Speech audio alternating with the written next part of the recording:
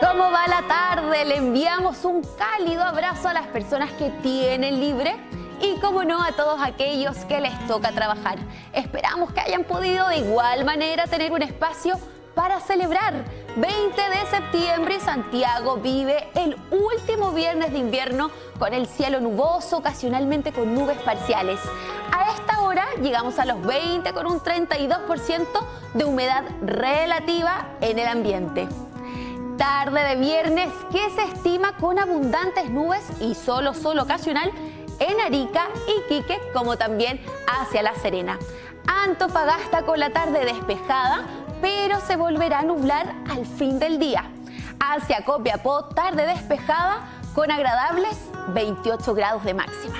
Perfecto para comenzar la segunda patita de las fiestas patrias. En el centro del país, la tarde seguirá nubosa, ocasionalmente con sol entre la región de Valparaíso y la del Maule.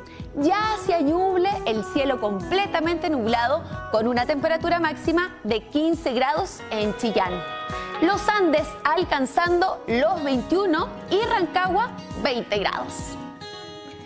Nublado el cielo de Concepción como gran parte del Biobío. Por su parte en Temuco, una tarde nublada y no se descartan algunos chubascos, aunque ocasionales.